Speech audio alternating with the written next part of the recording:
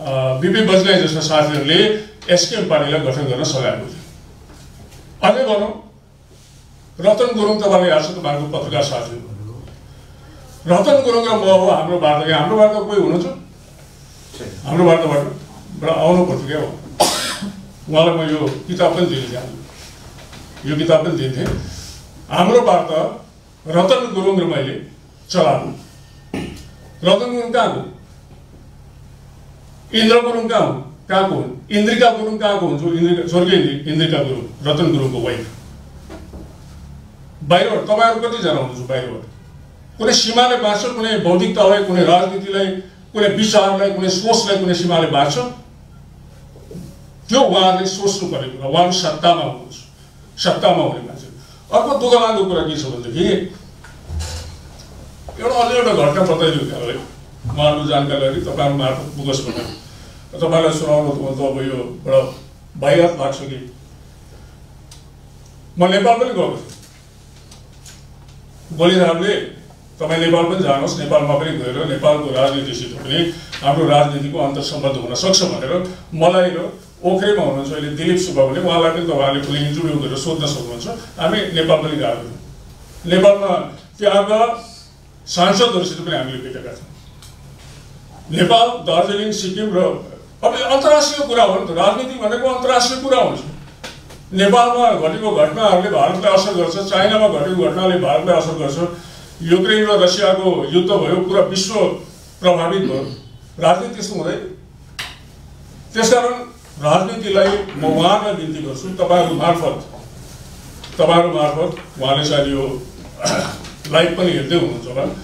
उहाँलाई म बिन्ती गर्छु। कृपया राजनीतिलाई त्यसले एउटा सानो परिधिभित्र बाँधेर नहेर्नु अर्को एउटा तपाईँहरूलाई कुरा बताउँ। त्यो एकजना हाम्रो सिक्किममा नि एकजना विदुषी नारी छन् क्या। समाजसेविका पनि हुन्। सिक्किम पनि पुरा चिन्ता राख्छन् नाम नभनौँ तपाईँले बुझ्नुहुन्छ। उहाँले सबै एसपिएफको के अरे युवाहरूलाई चाहिँ किन लगेन भनेर पनि क्वेसन रेज गर्नु क्या? अरे आधा उधी मात्रै लग्यो बिस तिसजना साठीजनालाई मात्रै लग्यो त्यस्तो किन गर्यो? त्यस्तो हुँदैन नि। रिसोर्स पर्सन बनाउँछु यहाँ। अरुण भाइ दिव्य कतिवटा यहाँ प्रकाशले हाम्रो मेरो बिचमा हुनुहुन्छ सञ्चराज सुब्बा।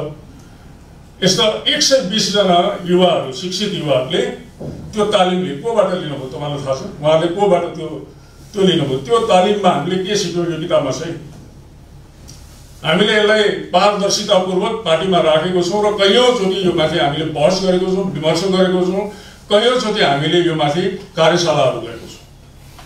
यस्तो होइन कि हामीले लुकाएर कुनै जङ्गलमा गएर बन्दुक बोकेर आएको होइन। तपाईँलाई बताइदिउँ त्यो कार्यशालाको प्रभाव मिजाज भन्ने कुनै एउटा सङ्गठन तपाईँलाई थाहा छ कि छैन? मिसन जागृत समाज जसको मुखिया हुनुहुन्छ सिके श्रेष्ठ। सिके श्रेष्ठ को हुनुहुन्छ सिके श्रेष्ठ भारतीय नेपालीहरूको शिखर पुरुष हुन् सिके श्रेष्ठ कसैको राजनीतिको राजनीतिको झोला बोकेर हिँड्ने मान्छे होइनन् उनी शिखर पुरुष हो जसरी नरबहादुर भण्डारी शिखर पुरुष थिए हामी नरबहादुर भण्डारीलाई भारतीय नेपालीहरूको राजनीतिको एउटा शिखर पुरुषको रूपमा लिन्छौँ। जसरी आज पवन चामलिङ भारतीय नेपालीहरूको राजनीतिमा एक शिखर पुरुषको रूपमा स्थापित हुनुहुन्छ आफ्ना सिद्धान्त र विचारहरू। उहाँलाई विश्वले चिन्दछ त्यसरी नै सिके श्रेष्ठलाई हामी गुरु भन्छौँ सिके श्रेष्ठ गुरु भारतीय नेपाली समाजका शिखर पुरुष हुन् उनले मिसन जागृत समाज अंतर्गत एउटा युवा राजनीतिमा रुचि राख्ने र समाजको प्रगतिमा रुचि राख्ने एउटा युवाले के के कुराहरू चाहिँ ध्यानमा राख्नुपर्छ कुन पार्टीमा छ त्यो छैन? उहाँले यतिसम्म भन्नुभएको कि यो अलिक राम्रोसँग तपाईँले रेकर्ड गरिदिनु एसकेएम पार्टीले पनि मलाई अप्रोच गरेछ भने एसकेएम पार्टीको युवाहरूलाई पनि म यही तालिम दिन्छु भनेर भन्नुभयो। उहाँले अप्रोच गर्दैन अरूलाई त मान्छे गर्ने होइन।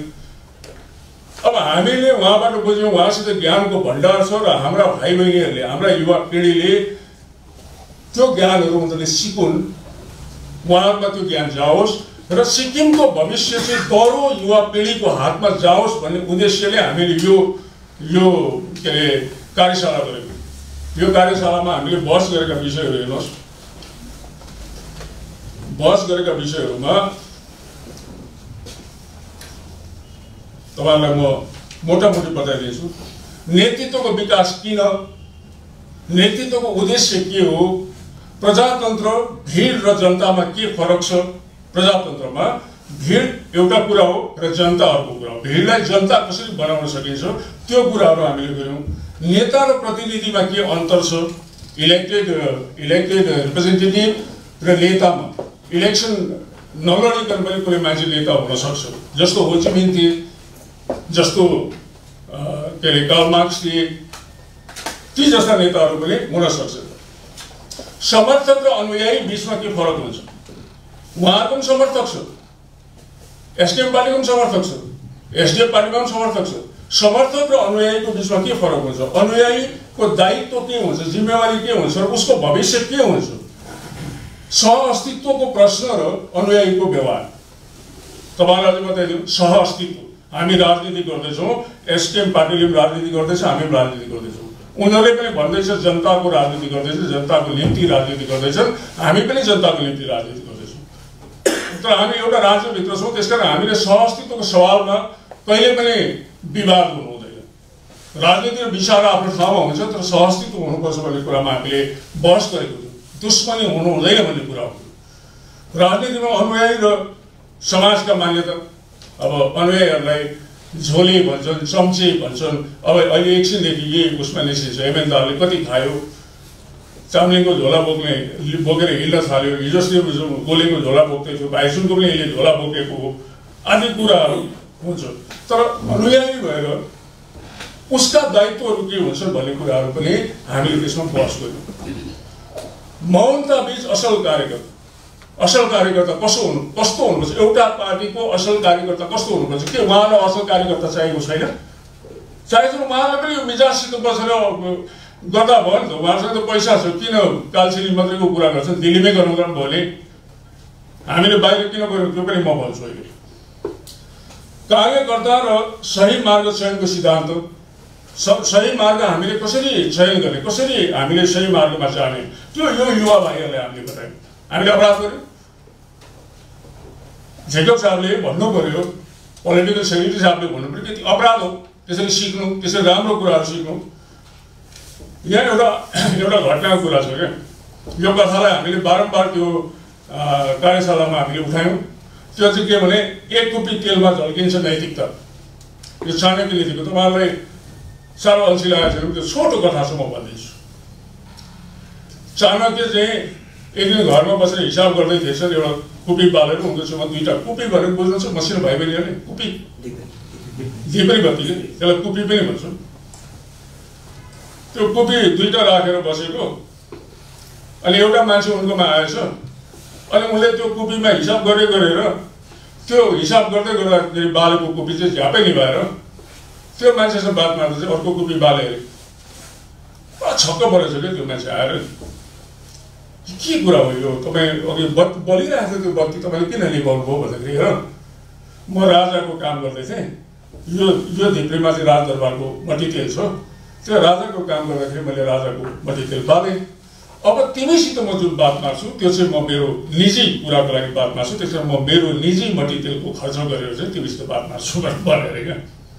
मलाई भ्रष्टाचारमाथि हामीले जति बेला कुरा गरेको थियौँ भ्रष्टाचारमाथि हामीले के अरे कार्यशालामा हामीले जुन बहसहरू गरेको थियौँ त्यो बहस तपाईँहरू पनि बस्नुभएको पुरा इन्ट्रेस्टिङ हुन्थ्यो सकेन अब त्यसमा खर्च लाग्ने हामी आफै आफै अलिअलि निकालेर अब देख्दा त अब पच्चिस वर्ष सरकारमा पुरै दियो होला भन्ने हुन्छ नि। त्यस्तो होइन। हामी आफै आफ्नो पार्टिसिपेसन थियो हाम्रो आफ्नो रहरमा गएको राजनैतिक सीमाको मान्यता र कार्यकर्ताको दायित्व आफ्नो भागको मान्यता र कार्यकर्ताको जिम्मेवारी परिवर्तन र कार्यकर्ता उद्देश्यहीन समर्पण र कार्यकर्ता समर्पणमा उद्देश्य हुनुपर्छ। उद्देश्यहीन समर्पण र कार्यकर्ताको दायित्वमाथि परिवर्तन इमान्दारिता र नेतृत्वको अन्तर सम्बन्ध नीति सिद्धान्त र अन्तर सम्बन्धबाट नेतृत्वप्रति सम्मान सम्प्रेषण कला र कार्य कार्यकर्ता सङ्गठन र कार्यकर्ता नेतृत्वको केन्द्रीयतालाई बुझ्ने सवाल नेतृत्वको केन्द्रीयतालाई जबसम्म बुझ्न सकिँदैन तबसम्म राजनीतिमा अगाडि बढ्न सकिँदैन। यी कुराहरू हामीले त्यो तिन दिने कार्यशालामा बहस गरेको थियो। यो छापेर हामीले पुरा सिक्किममा हाम्रो कार्यकर्तालाई वितरण गर्यो यो मार्गदर्शिका हो यो एसडिएफ कार्य छ। त्यो फोटो चाहिँ आजसम्म कुरा भने चामिक साहब चाहिँ हाम्रो अध्यक्ष महोदय चाहिँ प्लास्टिकको चौकीमा बसेछौ भनेर बेगी सुन्दै सिक्न त पिरामा पनि बस्नु पऱ्यो हाम्रो पार्टीको डिसिप्लिनलाई त बाँधिनुहोस् आफ्ना कार्यकर्ताहरूसित बसेर ज्ञान भनेको कुरा चाहिँ मान्छेले मर्दा पनि म कसरी मरिन्छ त्यो ज्ञान लिएको हुन्छ है साथी। उहाँहरूले पनि बुझ्नुपर्छ। त्यस कारण हामी ज्ञानको निम्ति सधैँ सधैँ तिर्खाएका हुन्छौँ। प्यास हुन्छ ज्ञानको। हाम्रो नेता तपाईँलाई थाहा छ विचारक हुन् कवि हुन् साहित्यकार हुन् संवेदनशील गीतकार पनि हुन् उनलाई ज्ञान लिने सधैँ एउटा आकाङ्क्षा त्यो प्यास त्यो तृष्णा उहाँसँग छ। त्यसो लागि उहाँले पनि बसेर त्यो उमेरमा पनि त्यो मिजाजद्वारा नयाँ टु पोइन्ट ओको हाम्रो कार्यकर्ताहरूलाई कसरी निर्माण गर्ने भन्ने कुरामा उहाँले सपोर्ट गर्नुभयो उहाँले बसेर सुन्नुभयो। त्यो कुरालाई हामीले जनतामा पुर्यायौँ। आफ्ना कार्यकर्ताहरूमा पनि पुर्यायौँ। अब दुःख लागेको कुरा के भने त्यत्रो जिम्मेवार पदमा बसेर उहाँले एउटा फटाले उहाँलाई त्यो हाम्रो समाजसेविका म्याडमलाई पनि कसैले भन्यो होला खालि दुई चारजना मात्रै लग्यो अरूलाई लगेन भनेर। त्यो पोल हाले जस्तो उहाँले अस्ति एउटा भिडियो जारी गर्नु हुँदै थियो अब उहाँको मैले नाम लिइरहनु उचित हुँदैन अब जेकब खालिङ साहबले के फोटो यो नेपालको मान्छे कुनै कहाँको मान्छे भनेर उहाँले देखाउनु हुँदैन अब अहिले त फोटो सपिङको जमाना छ कुनै पनि टाउको ल्याएर जोडेपछि त्यो नेपालकै मान्छे पनि हुन्छ इङ्ल्यान्डको मान्छे पनि हुन्छ त्यहाँ नेपालको मान्छे पनि कोही थिएन किनभने सिके श्रेष्ठ भनेको जानिएका इमान्दार व्यक्ति हो अनि सिके श्रेष्ठले गराएको त्यो जुन कार्यशाला छ त्यो कार्यशालाबारे सिक्किम सरकार हो नि बाबा। उहाँको सरकार हो नि होइन? उहाँ सरकार हो नि? उहाँसित मेसिनरी छ नि। यो अपोजिसनको एसडिएफ पार्टीले चाहिँ त्यहाँ गएर के चाहिँ मिटिङ गर्यो भनेर खोजी गरेर त्यो जरोसम्म पुगेर पत्तो लगाएर पो बोल्नुपर्छ त। म आउनै पर्दैन थियो तपाईँलाई दुःखै दिनु पर्दैन थियो। उहाँले चाहे भने यो किताब छापेर हामी उहाँलाई पनि दिन्छौँ। त्यो मिजाजको एउटा सदस्य म पनि हुँ। मिसन जागृत समाजको एउटा सदस्य म पनि हुँ। ल। मै पनि लगिदिन्थेँ जो उहाँले चाह्यो भने उहाँको कार्यशाला मै पनि गराइदिन सक्छु। किनभने यो राजनीतिदेखि माथिको कुरा। हामीले युवाहरूको युवा नेतृत्वहरूमा युवा भाइ बहिनीहरूमा नैतिक रूपले राजनीति गर्ने साहस होस्। र एउटा एउटा पवित्र राजनीतिको एउटा धारा सुरु होस् सिक्किममा भनेर त्यो उद्देश्यले सुरु गरेको कुरा अब बाहिरभित्र कुरा गर्छन् त्यो माइनोटी लामा कहाँको यहीँ जन्मेको उहाँले बुझ्नु पऱ्यो नि यो आइएस अफिसरहरू छ नि यहाँ अहिले हामीलाई चलाउने सिक्किमको त्यहाँ छ नि अहिले त्यो हिन्दीमा चाहिँ बोले आइएस अफिसरहरू। छ के भन्नु त्यो जज गभर्नर पनि त बाहिरकै छ। यहाँको यो बाहिरभित्र कुरा गर्ने के कुरा छ यो सवालहरू उहाँहरूले त्यसरी सार्वजनिक स्थलमा उठाएर गर्नु नहुने अब तपाईँले एउटा कुरा सोध्नु सोध्नुहुन्छ होला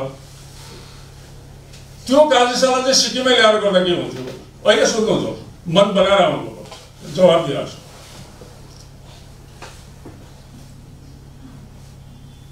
मेरो छिमेकीको एउटा साथीले उसको छोरालाई दिल्ली युनिभर्सिटी पठाएको थियो नि मैले सोधेँ युनिभर्सिटी यतै छ त किन दिल्ली लगेको भनेको? खोइ दिल्ली युनिभर्सिटी यता आउन मानेन भने। अब ज्ञान जहाँ छ हामी त्यहाँ जानु पऱ्यो त्यो मिजाजको सुविधा अनुसार हामीले उहाँ गएर आफ्नो तालिम आफ्नो वर्कसप गरेर आयौँ। त्यो त उनीहरूको सुविधाको कुरा हो नि। अब यहाँ त त्यति बेला तिन दिन चाहिँ एसडिएफ पार्टी एकदम बसेर कार्यशाला गर्दैछ भन्ने भयो भनेदेखि यो सिसाकै पनि रहने थिएन उनीहरूले गरेको कार्यशाला सम्भवत नभन्नु होला है उनीहरूले के कार्यशाला गरेको छन् र उनीहरूले कुन कतापट्टि राजनीतिलाई दिशा दिइरहेछन् भन्ने कुरा उनीहरू जानु मिजासले हामीलाई मिजासको अर्गनाइजेसनले हामीलाई के भन्यो भने सिक्किममा तिन तिन दिनसम्म चाहिँ कुनै कार्यशाला गर्न घातक हुन सक्छ त्यसमा हामी स्थान निर्धारित गर्छौँ तपाईँहरू त्यहाँ आउनु भनेपछि हामी जानु पऱ्यो। हाम्रो त आकाङ्क्षा थियो इच्छा थियो जान्ने इच्छा थियो। अनि हामीले केही कुरा जान्न कुनै शिक्षा लिन पनि अथवा हाम्रा युवा पिँढीहरूको निर्माण गर्न पनि सरकारको पर्मिसन लिनुपर्छ। योभन्दा आतङ्ककारी सोच के हुन सक्छ? म उहाँलाई यो प्रेस कन्फरेन्स मार्फत अथवा एसकेम पार्टीको पनि सोसियल मिडियाले अहिले यो लाइभ हेर्दै होला। उहाँहरूलाई भन्छु फोटो मात्रै किन? उहाँलाई हामी एउटा फिल्मै दिन्छौँ नि त कार्यशालामा हामीले के गर्यो भनेर। कुरा चाहिँ राम्रो सिकोस्। हामी फिल्म नै दिन्छौँ। हामी हामी पुरा भिडियो नै बनाएर दिइहाल्नु न हेर। यहाँ को को थिए के के थिए? यही सिक्किमका भाइ बहिनीहरू थिए। अरुण लिम्बू भाइ थिए दिव्या थिइन् वन्दना थिइन्। उहाँले हामी यो किताब पनि दिन्छौँ। म अहिले सोचेको थिएँ हाम्रो वार्तालाई चाहिँ मैले एउटा किताब दिनु पऱ्यो र प्रजाशक्तिलाई पनि एउटा किताब दिनु पऱ्यो उहाँहरूले पनि हेरुन्। धेरैचोटि यो माथि प्रश्नहरू आइसक्यो। त्यस कारण अब हाम्रो वार्ता त मोटामोटी मुखपत्र हो। त्यो मैले त्यहीँ काम गरेर आएको त्यो के उद्देश्यले स्थापित गरेको मलाई थाहा छ। म त एउटा पारदर्शी मान्छे हो। र दिइराख्नु पऱ्यो अरू कोही कसैलाई पनि। र पनि मसित अहिले खालि यो दुई तिन कपी मात्रै बाँडिसकेको छौँ। तपाईँहरू कसैलाई पनि तपाईँहरूभित्र सल्लाह गरेर एउटा लान सक्नुहुन्छ तपाईँलाई बडा काम लाग्छ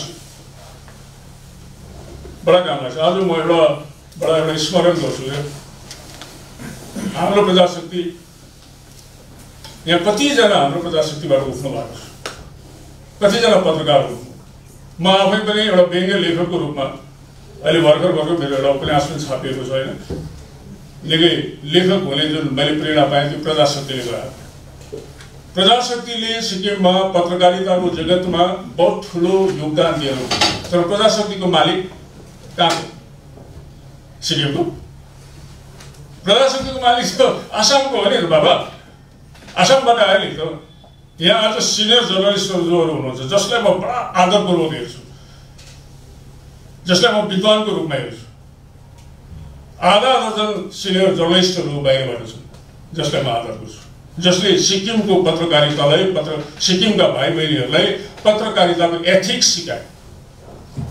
जसले एथिक्स सिकाए पत्रकारिता भनेको यो हो भने भलै आज अब एथिक्सैको मात्रै कुरा गर्दाखेरि अब दाना पानीको पनि कुरा आउँछ।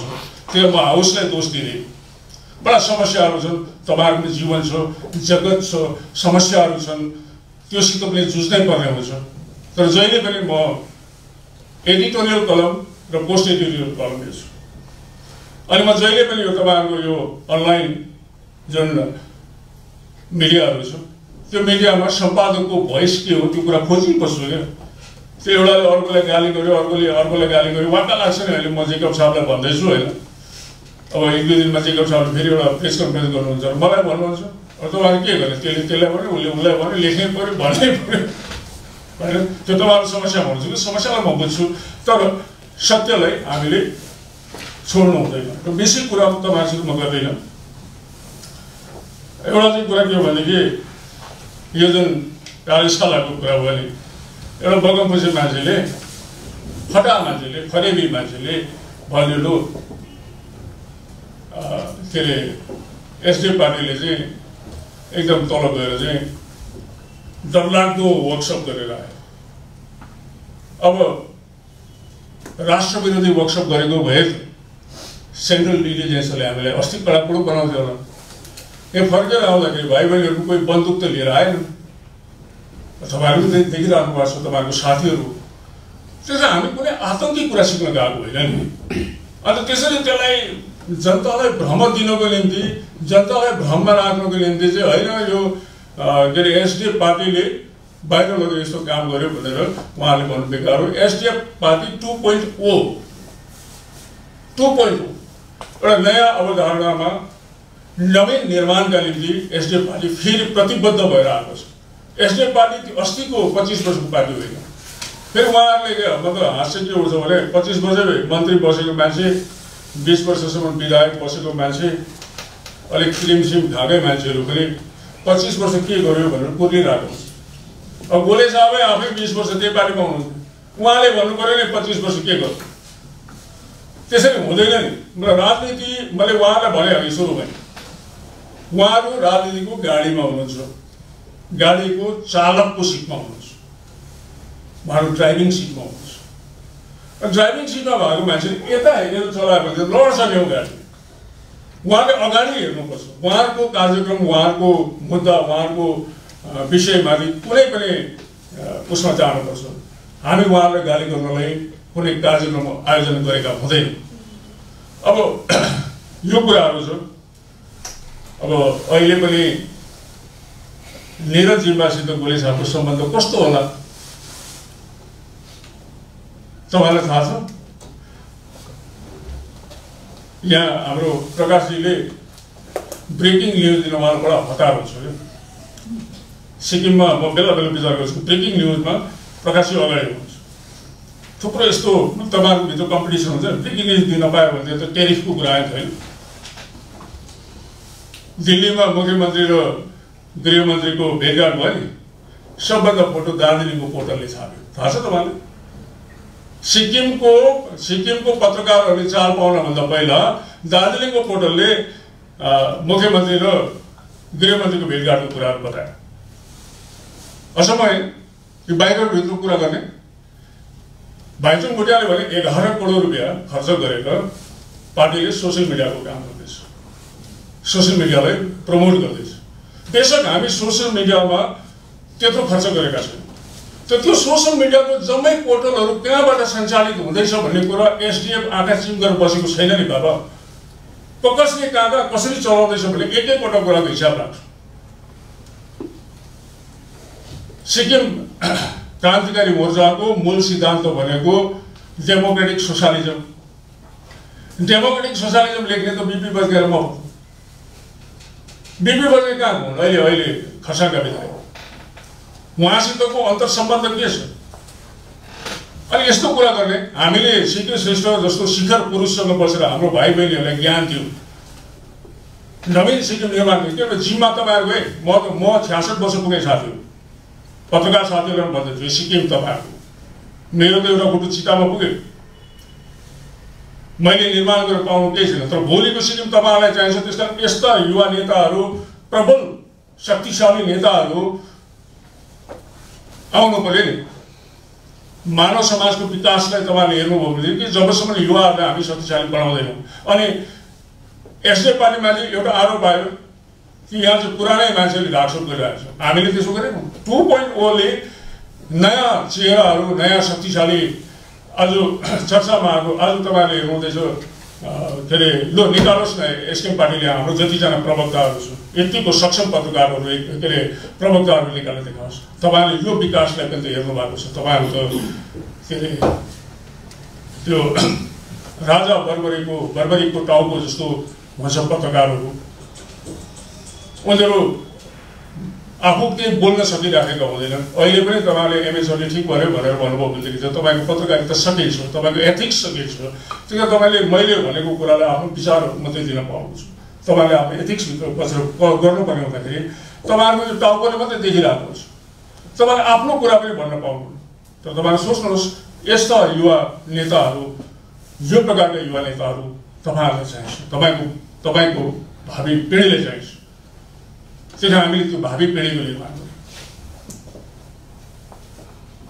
अझै उहाँले बुझ्नुपर्ने कुरा हो सरोगीले हिजो मात्रै रिजाइन गरे होइन सरोगी पनि कहाँ सिङताममा जन्मेको सरोगी पनि तलबाट बालकमै आएको पनि होइनन् त्यसले बाहिर भित्र कुनै के जाति कुनै कहाँ लगेर अब बाहिर जान्ने मान्छेहरू जुन उहाँ सिकेर आउनु पऱ्यो हामी पनि केही जान्दछौँ भने बाहिरको भाइ बहिनीहरूले पनि आएर हामीसित सिक्छ होइन कतिजना त मसँग आएर बस्छन् सिक्छन् साहित्यका कुराहरू गर्छन् त्यस्तो कुराहरू हुन्छ त्यस कारण राजनीतिलाई हामी एसडिएफ टु पोइन्ट ओले कुनै सिमानामा बाँधेर हिँड्दैन बेसक सिक्किमको अस्तित्वमाथि हामी कुनै सम्झौता गर्दैन सिक्किमको सवालमा हामी कुनै सम्झौता गर्दैन तपाईँहरूले बारम्बार एमपी सुब्बाले भन्नुभएको छ। रिभिजिट हामी सिक्किम सरकार सिक्किमको राजा त्यति बेलाका नेताहरू र भारत सरकारसँग बसेर गरेको त्रिपक्षीय सम्झौतामाथि फेरि बहसमा हामी केन्द्र सरकारसँग जान्छौँ। त्यो सङ्कल्प हामीले लिएका छौँ। हामी सिक्किमको हितको निम्ति कुनै पनि सम्झौता गर्दैनौँ। त्यति चाहिँ हो। तर सिक्किमे युवाहरूको निर्माणको निम्ति पनि हामी कुनै सिमाना बाध्यता राख्दैनौँ। हामी विश्वको हरेक कुनामा पठाएर पनि यी युवाहरूलाई सक्षम सबल नेता बनाउने कोसिस गर्नेछौँ त्यो कोसिसमा छौँ र म यो प्रेस कन्फरेन्स मार्फत सरकारी पार्टी सरकारी पार्टी भन्नु पार्टी त सरकारी हुँदैन तर सरकार अब पार्टी नै सरकारी हुँदो रहेछ किनभने त्यो सरकारी कार्यक्रमतिर पनि कन्स्टिट्युन्सी प्रेसिडेन्टलाई चिफ गेस्ट गर्नु बोलाउँछन् क्या अफिसियल कार्यक्रममा नि त्यस्तो नहुनु पर्ने होइन त्यस कारण यो सरकारी पार्टी भइसकेको पार्टी छ। सरकारी पार्टीलाई हामी बिन्ती गर्छौँ। कुनै पनि कुरो कहीँ पनि घोषणा गर्नभन्दा पहिला त्यसको जरासम्म पुगिदिने त्यसको वास्तविकता बुझिदिने त्यसको आवश्यकतालाई बुझिदिने राज्यको निम्ति कति हितकर हो यस्तो कहिले पनि पूर्वाग्रह उनीहरूले नराखुन् कि विपक्षी पार्टीले चाहिँ जहिले पनि राज्य र समाजको निम्ति अहित मात्रै गर्छ र राज्य र समाजको दुश्मन हुन्छ विपक्षी पार्टी भन्ने चाहिँ सरकारको पक्षले सोच्नु हुँदैन। विपक्ष पार्टी पनि जनताका सरोकारहरूलाई नै लिएर राजनीति गरिरहेको हुन्छ राज्यको सरोकारहरूलाई नै लिएर राजनीति गरिरहेको हुन्छ भलै विचारहरू अलग अलग हुन् धाराहरू अलग अलग हुन्। यो कुराहरू छ र मैले तपाईँहरूको यो कुराहरू राखेँ। अलिक लामो पनि भयो होइन?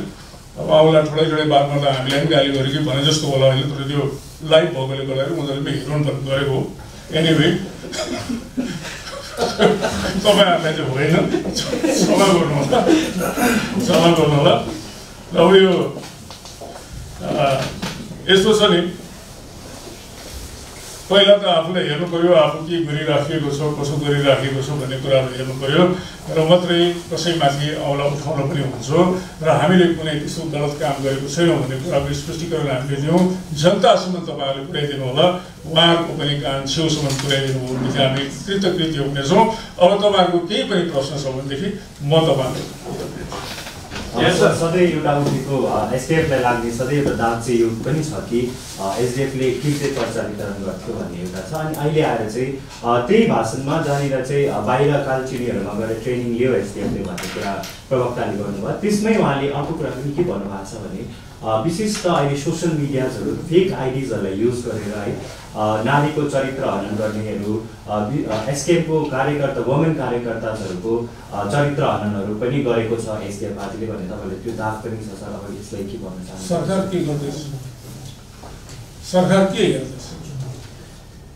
यदि त्यस्तो छ भने यसो त्यस्तो छ भने कृत्य पर्चा हो भनेदेखि लेख्नेलाई पक्रिनु पऱ्यो कसैले फेक आइडी चलाउँदैछ भने त्यसको पाता फर्काउनु पऱ्यो भाइ। सरकार के गर्दैछ? त्यो पर भाषण गरेकोले त त्यो फेक आइडी त के अरे बन्द हुने कुरा भएन होइन त्यो त सरकारको दायित्व हो नि यदि समाजमा कुनै विचलन कसैले पनि ल्याउँदैछ भने त्यो माथि कारवाही त सरकारले गर्नु पऱ्यो नि भाषणले गर्छ त्यो उहाँले बुझ्नु पऱ्यो सर भाइले त्यो क्वेसन थियो त्यसमा अलिकति कुरा जुन अहिले यो कुरा तपाईँले निकाल्नु यो नामथाङको उसमा स्पिचमा यो कुरा फर्स्ट टाइम आएको थियो है अस्ति सायद सत्ताइस तारिक हुनुपर्छ र उहाँ उहाँले नाम त भन्नु भएन अब तपाईँले नाम सिके श्रेष्ठको नाम तपाईँले लिनुभयो है उहाँले नाम त भन्नुभएको थिएन। र उहाँ चाहिँ त्यही कुरा आउँदैछ जुन ट्रेनिङ जुन कार्यशाला भयो त्यहाँ चाहिँ नारीको चरित्र हत्या गर्नेको लागि गरिने ट्रेनिङ प्रदान गरियो। र त्यसकै आधारमा चाहिँ अहिले एसकेएम पार्टी के अरे एसडिएफ पार्टीले चाहिँ यो काम गर्दैछ। र यो नारीको चरित्र हत्या गर्ने ट्रेनिङ चाहिँ त्यो कार्यशालामा दिएको थियो र त्यो कार्यशालाको आधारमा चाहिँ अहिले यो काम हुँदैछ एसडिएफ पार्टीबाट। भन्ने उहाँहरूको आरोप छ यसमा देखिन्छ सिके श्रेष्ठमाथि कारवाही गरौँ। उनले प्रुभ गरौँ त्यो गरेको छ भने। र सिके श्रेष्ठमाथि कारवाही गरौँ हामी त सिक्न गएको थियौँ। मैले त यहाँ हामीले लेखेको थियौँ ट्रान्सपरेन्ट हामीले के सिक्यौँ? त्योभन्दा बाहेक केही कुरा भएको उनीहरूले प्रमाणित गर्छन् भने सिके श्रेष्ठ मात्रै के? त्यो कार्यक्रमभित्रको एउटा संयोजक म पनि मलाई पाता फर्काउँ म रेडी छु कुनै पनि कुनै पनि गलत काम गर्यो त्यो त्यस्तो केही भएको होइन। त्यहाँ एउटा फरेबी कुनै फरेबी मान्छेले पार्टीलाई बदनाम गर्नका निम्ति उनीहरूको कानसम्म पुर्याइदियो अब सरकारले अहिले के गरिरहेको छ? सरकार पक्षले भने कान समातेका छैनन्। उनीहरू कागप्रति दौडिरहेको छ। त्यसो नगर्नुपर्छ उहाँले त्यसो के भयो? त्यहाँ एउटा एउटा अझै तपाईँलाई तपाईँलाई म प्रति प्रश्न सिके श्रेष्ठको बारेमा तपाईँ जान्नुहुन्छ। सिके श्रेष्ठ मिजाजको प्रमुख हो।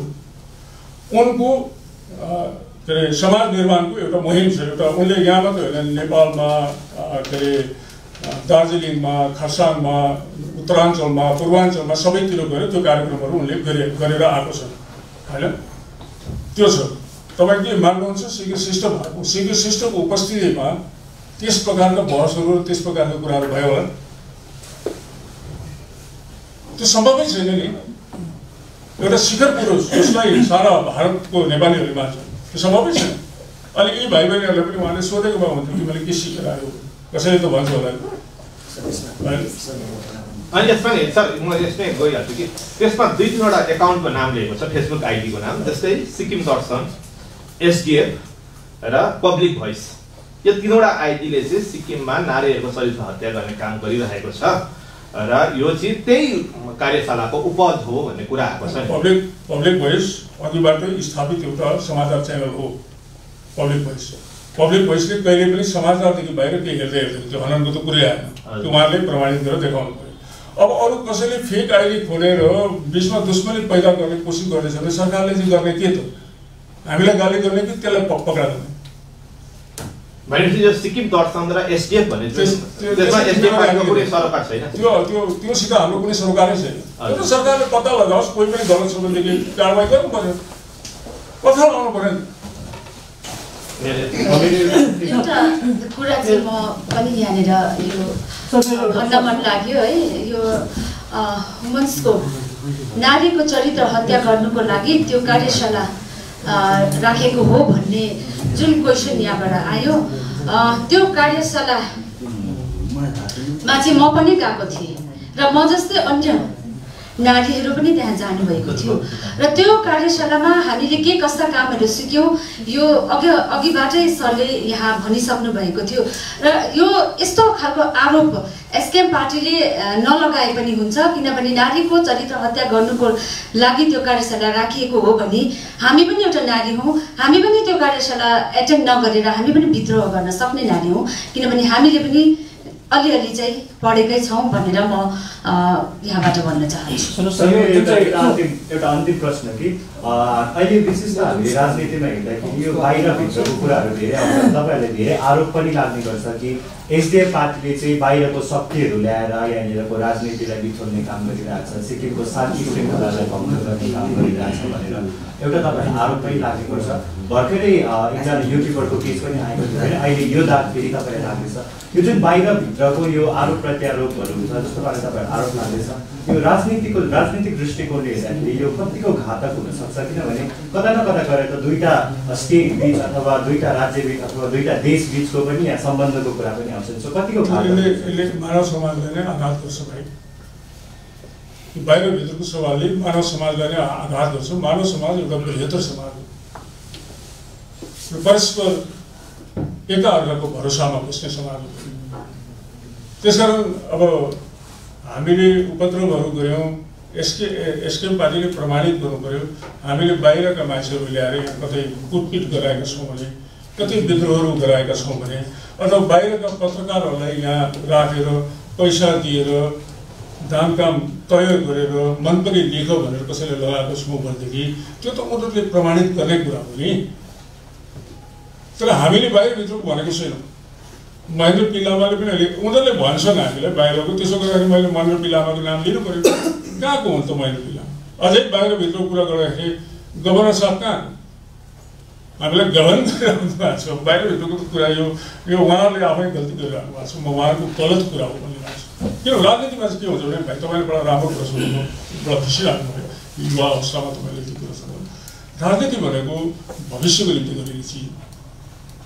आरोप प्रत्यारोपको निम्ति गरिने चिज हो। राजनीति भनेको मानव कल्याणको निम्ति मानव समाजको विकासको निम्ति चिज हो। र त्यसमाथि हाम्रो नेताले एउटा थप कुरा लेख्नुभयो आजको समेत टाइम्समा अङ्ग्रेजीमा आएको छ अस्तिको हिमाली भेलोमा आएको छ मैले लेखेको छु। जीवनवादी प्रजातान्त्रिक समाजवाद अथवा इकोलोजिकल डेमोक्रेटिक सोसालिजम हाम्रो नेताले राजनीति केवल मानव जीवनसित मात्रै होइन जीवन र जगतसितै सम्बन्धित हुनुपर्छ र विकास मात्रै राजनीतिक उद्देश्य हुनु हुँदैन। राजनीतिक उद्देश्य भनेको जगतको कल्याणको उद्देश्य हुनुपर्छ भन्ने एउटा नवीन स्कुल अफ थटमा हामी अहिले राजनीति गरेछौँ टु पोइन्ट ओ हामीले बाहिर या भित्र कुरा गरेको छैनौँ हामीले विश्व वैश्विक अवधारणालाई नै अङ्गीकार गरेको गर्दछौँ हामी सानो राज्य हौँ तर सानो राज्यबाट पनि हाम्रो नेताले ठुलो कुरा सोच्नु भएको छ। यो कुरा हामी सन्देश दिन चाहन्छौँ। र सर यो प्रशिक्षण चाहिँ कुन ठाउँमा र कहिले भएको थियो? Date clear? प्रशिक्षण चाहिँ कुन डेट र कुन ठाउँमा प्रशिक्षण चाहिँ मैले एउटाको चाहिँ डेट ठ्याक्कै अहिले तपाईँलाई भन्न सकिनँ कि एउटा चाहिँ कति तारिक भयो भने?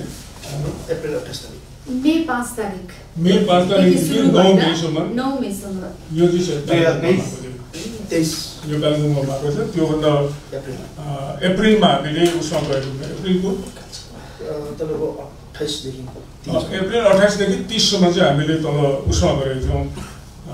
उहाँले त कालचिनी भन्नुहुँदै त्यो कालचिनी त होइन अन्त अर्को कुरा चाहिँ के थियो भने के भन्छ तपाईँहरूले सिक्किमभित्रै नगर्नु कारण चाहिँ के तपाईँहरूलाई एट्याक हुन्छ भनेर हो? किनभने अघि निकाल्नु भएको त्यो थियो। मात्रै होइन।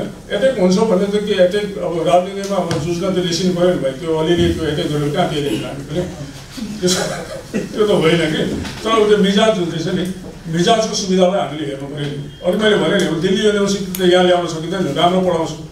दिल्ली युनिभर्सिटी नै जानु पऱ्यो त्यस्तो भएको मात्रै क्या अब मिजाजले त्यहाँ सुविधा लाग्यो त हामी त्यहाँ गयो गयौँ त्यति मात्रै। मिसन जागरण के भन्नु है? मिसन जागरण मिजाज के अरे जागृत जागृत समाज मिजाज मिसन जागरण जागृत समाज तपाईँको यो जुन म पनि एउटा ट्रेनर थिएँ त्यहाँनिर है यो सानो तपाईँहरूलाई म जानकारी दिन चाहन्छु है जो ट्रेनिङ गराउने उहाँहरूकोबाट हामीले जुन ट्रेनिङ लियो नि जुन प्रकारले हामीले ट्रेनिङ लियो आज हामी यस्तो भएर आयौँ कि म पनि एउटा सिक्नु गएको मान्छे हो। है तपाईँहरूको अगाडि म भन्न चाहन्छु।